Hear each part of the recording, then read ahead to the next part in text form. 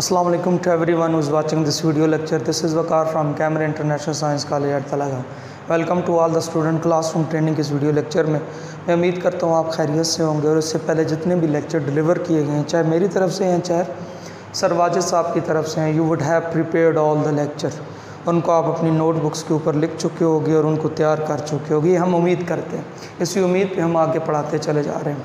जैसा कि आपको पता है कि अनाउंसमेंट तो 15 सितंबर की हो चुकी है कि 15 सितंबर तक आप स्कूल कॉलेजेस बंद रहेंगे। तो बड़ा टाइम है। ये नहीं कि आप बिल्कुल फारग और वेले फिरते रहें। तो आपने कुछ ना कुछ ऐसा तो ज़रूर करना है, वरना ये आपका जो स्टडी का रिलेटेड जो टाइम है वो तो बहुत ज़्यादा गुजर रहा है। अगर आप इनको बेकार समझोगे, आप समझोगे इनवैलिड समझोगे, जितना भी आपको ये लेक्चर वगैरह डिलीवर्ड किए जा रहे हैं तो एट दी एंड आपका बहुत बड़ा नुकसान होगा। दूसरी एक और बात ज़िंदगी बड़ी खूबसूरत चीज़ का नाम है। कोई भी चीज़ बेकार अप्स विदाउट एनी रीज़न क्रिएट नहीं की गई अगर आप एक चूंटी की एग्ज़ाम्पल ले लेना तो एक अगर चूंटी का वजूद कायनात से इस यूनिवर्स से ख़त्म कर दिया जाए तो हो सकता है इतने इतने बड़े मसाइल पैदा हो जाएँ कि you can not estimate you can not understand जिनको आप समझ नहीं सकते। यानी हर चीज़ की अपनी एक अहमियत होती है। जब तक वो दुनिया में है, उसके होने की कोई वजह है। और जब वजह नहीं रहेगी, उस चीज़ को ख़त्म कर दिया जाएगा। तो ज़िंदगी भी इसी तरह है। हमारा जो यहाँ पे इस कायनात के अंदर, इस दुनिया के अंदर जो आना है इट्स नॉट एन एक्सीडेंट और इंसिडेंट ये कोई हादसा या कोई वाक़ नहीं है। There is some solid reason of creating this thing by creator अगर खालिक ने अपनी इस मखलूक को पैदा किया है तो उसके पीछे कोई ना कोई वजह है। ये बेकार या अब्स नहीं है, ये विदाउट एनी रीज़न नहीं है। तो ज़िंदगी जो मिली है ना, वो किसी मकसद के लिए मिली है और इसी मकसद को खोजना ज़िंदगी का हासिल है। जब आप उस मकसद को, जब आप उस पर्पज़ को, जब आप उस चीज़ को पा लेते हो ना तो आपको ज़िंदगी का हासिल मिल जाता है कि हमारे आने की वजह क्या आप उस वजह को तलाश खुद करना है यह आपका काम है। इसको सर्च करें कि हमारे आने का मकसद क्या है, हमारे रहने की वजह क्या है। तो जब तक आप उस वजह को नहीं खोजते, आप ला हासिल ही रहोगे। लेकिन अगर इस ज़िंदगी को हम बेकार की चीज़ों में ज़ाया करते हैं, अब देखते हैं कि आए रोज़ आपके सामने बाइक के एक्सीडेंट हो रहे हैं, स्टूडेंट जो है उनकी डेथ हो रही है, रोड के ऊपर व्हीलिंग कर रहे हैं। तो ये वो चीज़ें जो बेकार हैं कि हमने इतनी बामकसद, इतनी फ्रूटफुल, इतनी पर्पसफुल लाइफ को हमने रोड के ऊपर ज़ाया कर दिया। ये भी खुदकुशी की किस्म है कि जब आप अंधाधुंध बाइक चलाते हैं without any care it means you are going to do suicide suicide कर रहे हैं, आप खुदकुशी कर रहे हैं। तो इस तरह अपनी केयर आपने खुद करनी है। इस मंथ के अंदर राउंड अबाउट दो स्टूडेंट ऐसे हैं मेरे, जिनका ताल्लुक जो है वो first year second year classes से था, वो कंप्लीट कर चुके थे अपने इंटर लेवल को। Unfortunately they were died in road accident so it was shocking for me मेरे लिए बड़ी दुख की बात है कि समझाने के बावजूद बारह समझाने के बावजूद केयर नहीं की जाती। केयर करें। जब आप अपनी ज़िंदगी को ऐसे बेकार और बेमकसद ज़ाया कर देंगे आपका कुछ नहीं जाएगा। आपने तो यहाँ से चले जाना। आ, आगे आपके साथ क्या होगा वो आप जानोगे। और खालिक बेहतर जानता है कि क्या होना है। हम नहीं जानते इस बारे में। हमारी रसाई अभी वहाँ तक नहीं है। बट आपको ये नहीं पता कि पीछे घर वालों का क्या हाल होता है। उन वालदेन का, जो गोद में जब बच्चा आता है तो उसको हाथ लगाने से डर लगता है, इतना नाजुक सा होता है। उसको जब बचपन से लेके जवानी तक पालते हैं, इतने प्यार से, इतने मान से, इतने चाह से उनकी हर ज़रूरत को पूरा करते हैं। ख़ुद गर्मी में, सर्दी में गुजारा कर लेते हैं, लेकिन अपने बच्चे को अच्छे से अच्छा खाना देने की अच्छे से अच्छे रहाइश और तमाम ख्वाहिशात को सामने रखते हुए उनको पूरा करने के लिए अपनी ख्वाहिशात को मार देते हैं। तो उन पे क्या गुज़रती है, इसको ज़रा सोचिएगा। तो बी केयरफुल बाइक चलाने की कोशिश ना करें, इस तरह ना करें कि अपने आप को नुकसान दे दें। आपका तो लेवल ही नहीं नाइन्थ टेंथ क्लास के जो स्टूडेंट हैं, उनको तो बाइक चलाना ही नहीं चाहिए, ठीक है? अगर मजबूरी के तहत चलाना पड़ गया तो तरीके से चलाएँ। कम स्पीड पे चलाएँ, ध्यान के साथ इधर उधर देख के चलाएँ ये मेरा मैसेज है, अपना ख्याल रखना है ताकि आपकी वजह से आपके घर वाले परेशान ना so in previous lecture in previous two और three lecture I was talking about the use of an adjective adjective क्या होता है? हमने एडजेक्टिव के बारे में पढ़ा। एडजेक्टिव को बनाया कैसे जाता है? एडजेक्टिव होते क्या हैं? उसका यूज़ कैसे किया जाता है? कौन कौन सी इसकी कैटेगरीज हैं? कौन कौन सी इसकी टाइप्स हैं? Before this we have already covered six types of adjective so in this lecture और this lesson you can learn about the seventh and eight type of adjective हम इस लेक्चर के अंदर सातवीं या आठवीं टाइप को हम क्या करेंगे? दोनों को हम कवर करेंगे। सबसे पहले है इनडेफिनेट एडजेक्टिव डेफिनेट महदूद को कहते हैं इनडेफिनेट ला महदूद को कहते हैं। यानी जिसकी कोई हद नहीं है, उसे हम क्या कहते हैं? इनडेफिनेट कहते हैं। और डेफिनेट जो होता है, वो महदूद होता है, जिसकी हद पता होती है। तो यहाँ पे सेवन्थ नंबर जो हमारी टाइप है, वो है इनडेफिनेट एडजेक्टिव एन एडजेक्टिव ऐसा एडजेक्टिव दैट जो दैट का इस्तेमाल और विच का इस्तेमाल जो के लिए हम करते हैं उर्दू लैंग्वेज के अंदर। एंड जब उर्दू में जो बोला जाए and when you are going to into English you are bound to use that और which you can also use which and as well as that an adjective that जो डिस्क्राइब बताता है अ नाउन एक noun के बारे में, एक noun के बारे में इंफॉर्मेशन दे रहा है, वही बात add something to the meaning of noun यानी नाउन के बारे में कुछ बता रहा है अनस्पेसिफिकली एक होता है स्पेसिफिक और एक होता है अनस्पेसिफिक या जैसे आप पर्टिकुलर और अनपर्टिकुलर कह सकते हैं। पर्टिकुलर मखसूस अनपर्टिकुलर गैर मखसूस। स्पेसिफिक ख़ास अनस्पेसिफिकली यानी ख़ास नहीं है यहाँ पे। इस कार्ड कहलाता है इनडेफिनेट एजेक्टिव वो क्या कहलाता है? इनडेफिनेट एजेक्टिव कहलाता है। अब इसके अंदर बहुत सारी चीज़ें आ जाती हैं, जैसे for example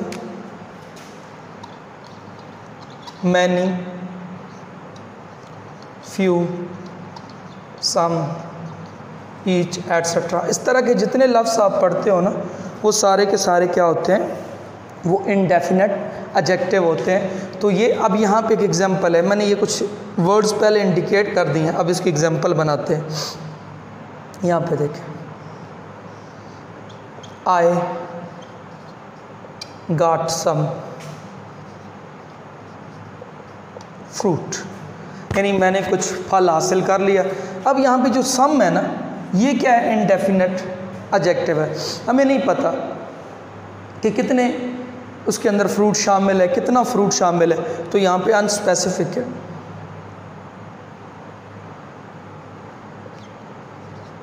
There are a few students कि वहाँ पे कुछ तालब अब कुछ में हमें नहीं पता कितने हैं। अ फ्यू यानी यहाँ पे फ्यू नहीं है। फ्यू होता तो बिल्कुल ना होते अफ्यू फ्यू है। तो यहाँ पे कुछ की बात की जा रही। Each boys were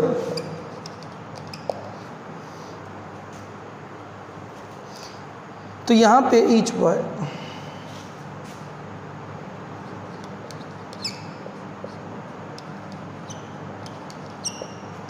each boy was playing यानी हर लड़का यहाँ पे खेल रहा था। यहाँ पे थोड़ी सी कन्फ्यूज़न है। आप इसको दोनों लिख लें। बाद में इसको आपको क्लियर कर दूँगा। ईच बॉयज़ है ये each boy each boy was playing या यहाँ पे क्या आ जाएगा? वर प्लेइंग तो यहाँ पे ये तीनों जो वर्ड है फ्यू असम ये सम फ्यू और ईच ये सारे के सारे क्या कहलाते हैं? इनडेफिनेट एजेक्टिव के तौर पे इस्तेमाल होते हैं। तो ये आपने देख लिया कॉन्सेप्ट अब यहाँ पे देखते हैं। कंपाउंड एजेक्टिव जो आपके लिए आप लास्ट है। इसके एक स्क्रीन शार्ट ले लें, फिर मैं इसकी एग्ज़ाम्पल देता हूँ।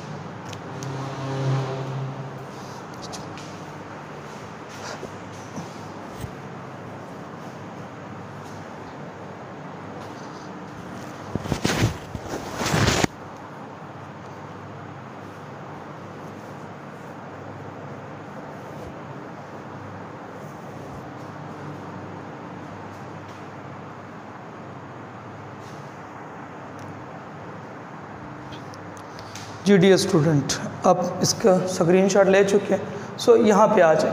कंपाउंड नाउन आपने देखा था, जहाँ पे दो तीन नाम जुड़ते हैं, मैंने आपको पढ़ाया था।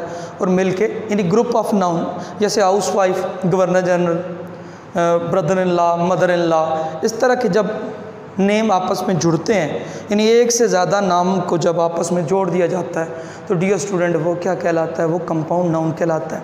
अब जब कंपाउंड नाउन किसी नाउन के मीनिंग में इजाफा करे, बड़ी इंटरेस्टिंग बात है। है क्या?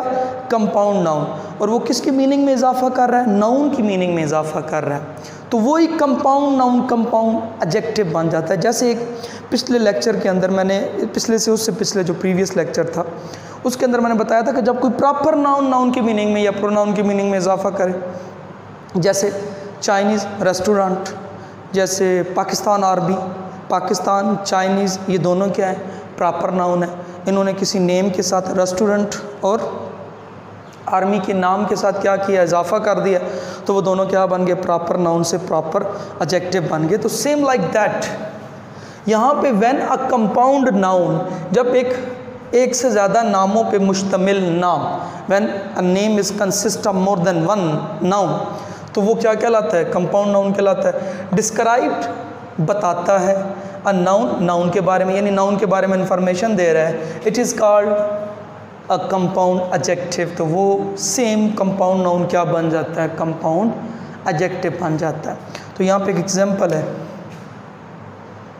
I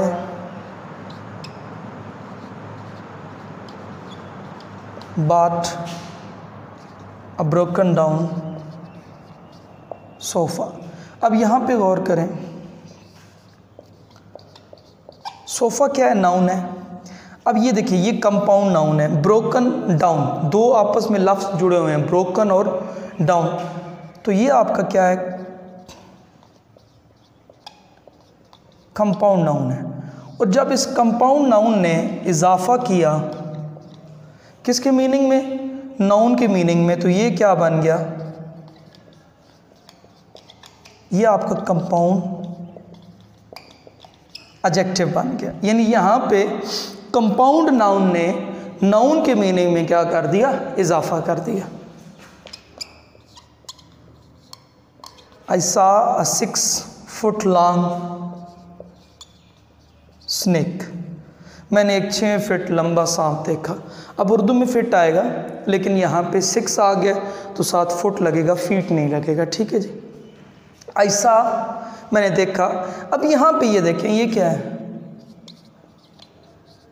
कंपाउंड नाउन क्योंकि यहाँ पे तीन नाम जुड़े हुए हैं सिक्स फुट और लॉन्ग ये तीनों जुड़े हैं तो एक नाम बना है। और ये डियर स्टूडेंट क्या है? नाउन है। अब इस नाउन ने इसकी मीनिंग में क्या कर दिया? ऐड समथिंग इजाफा कर दिया। तो यही कंपाउंड नाउन क्या बन गया? कंपाउंड एडजेक्टिव यानी इसी को हमने क्या ले लिया? एज एडजेक्टिव लिया इसके एक स्क्रीन शॉट ले लो।